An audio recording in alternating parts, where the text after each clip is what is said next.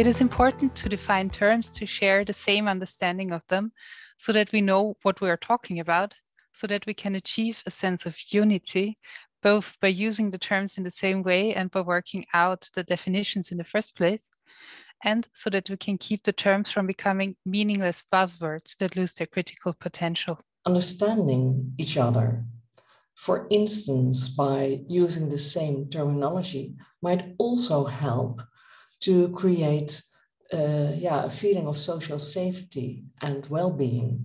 You know, diversity refers to the gamut of characteristics that make up our identity, and gender is one huge chunk of how we choose to identify and express ourselves in a gendered manner.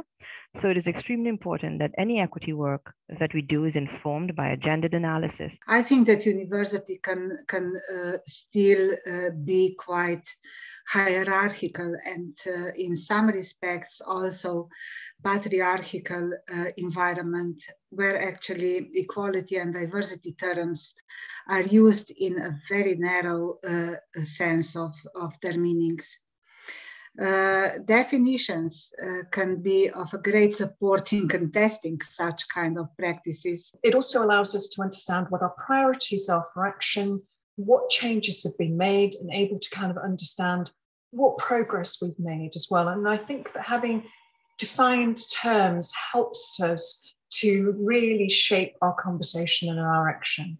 These terms must be shared, discussed, adapted, and translated, and also grounded onto bodies of scientific research in order to ensure evidence based policymaking.